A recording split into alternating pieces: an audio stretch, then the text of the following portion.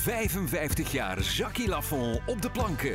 Dat kan u niet missen. Het Witte Paard pakt uit met Jubilee aan Zee. Een variétéshow vol ambiance. Op het podium staan ook Wendy van Wanten, Frank van Erum, David van Dijk, Jan Wuiters en een schitterend showballet. Tussen 22 juli en 18 september in het Witte Paard in Blankenbergen. Speeldata en tickets witte koppeltekenpaard.be of 050 41 11 00.